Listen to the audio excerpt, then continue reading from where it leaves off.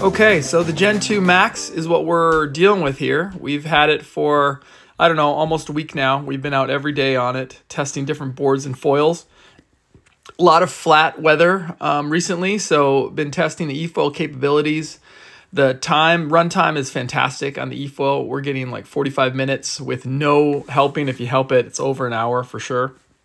Um, anything shorter than five foot board, you pretty much need to help that foil pump up unless you're on a big hydrofoil. Like on the PNG 910, I had to have at least like a 410 or five foot board to have enough power to kind of pop up on the foil. Um, once you're up, or if you're on a longer board, like this uh, Wingcraft V1 here is a 5.6, it's perfect. I can get up every single time. I don't notice uh, the battery degrading either with discharge. So on the version or the Gen 1 um, FoilDrive Assist Plus, as the battery got below 50%, you'd notice a huge drop in power. Wasn't like that on the Gen, Gen 2. Um, I have good power all the way till it literally runs out of power and goes into limp mode.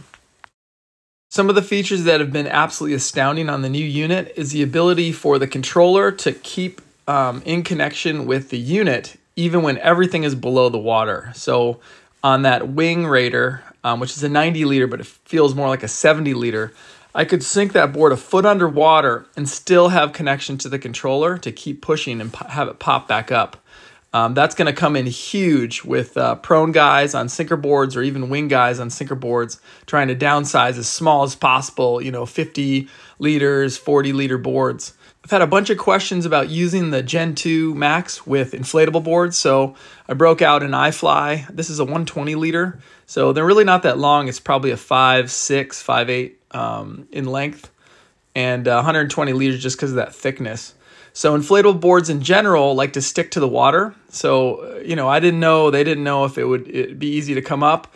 E-foiling the inflatable board was awesome actually. Felt great on the water. I was able to do some flat water pumping practice on it and it popped right up.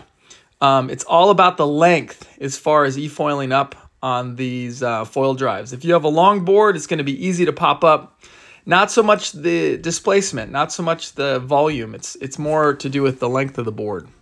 By far, my favorite thing about the new setup is that it centers all of the mass for the propulsion system and the batteries all right above that mast and base plate. So if you're trying to learn some pumping, flat water pumping, or turns or jibes or any of this stuff, it feels exactly the same as if you were on a board with no propulsion unit and no assist. Um, it's absolutely fantastic. It's great. We still have pre-orders available for the very first shipment of these that are coming in a couple weeks. If you guys want one, get those pre-orders in.